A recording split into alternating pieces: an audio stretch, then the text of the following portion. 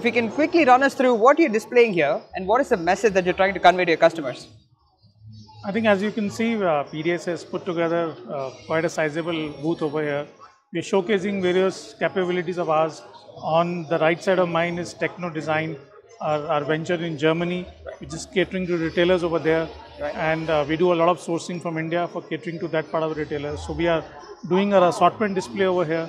On my left side is actually uh, DBS, one of our investee companies here in India, wherein the focus is home textile, the focus is print. So we are showcasing various capabilities.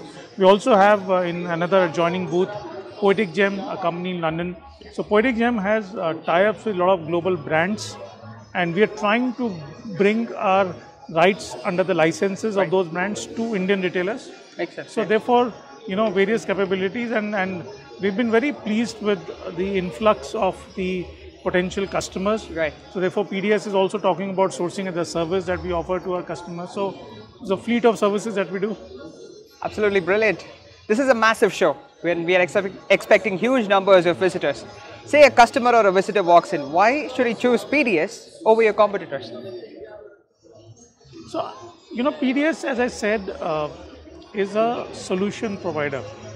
So, if you're just looking at a garment yeah. To be manufactured at the least possible price, then the customer may have many options around.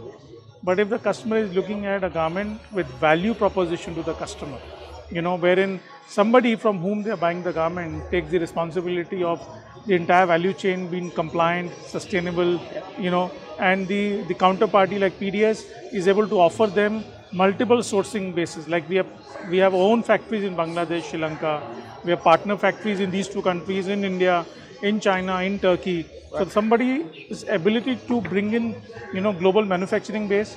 I have 250 designers. So therefore, to specifically answer your point, I am an end-to-end -end service provider right. who would design garment, who would get it manufactured through a compliant value chain, and that's where our offering is. In fact, a lot of retailers are wanting to get rid of their cost structures. Yeah. They want somebody to manage their Bangladesh office, somebody to manage their India office, Turkey office. So PDS has been increasingly signing these sourcing and the service contracts. You know, so uh, that's where we are not just a garment manufacturing company, but an entire solution provider. Absolutely brilliant, sir. One final question from my end. We are a growing economy, uh, $10 trillion economy very soon. That creates a lot of opportunities in this industry. How is your company working on this trend? See, uh, one of our customers uh, is Walmart, and Walmart has recently announced that over the next few years they are going to move 10 billion worth of sourcing to be coming in from India. You know, and therefore here we are our roots are from India.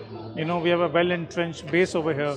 So as the world is trying to shift its sourcing to India, as Indian government is, you know, making manufacturing more and more viable in India by way of textile parks, production link incentives. You know, we're investing into, India used to be just a three, four months manufacturing right. kind of country where wherein just cotton based, etc. More spring summer collection. Now with the various kind of man-made fibers also getting done, Indian government is talking about an integrated value chain. So we believe India is going to be seen increasingly as a sourcing destination for all the global retailers. So we are here to, you know, uh, convert that opportunity into value for our customers with various stakeholders.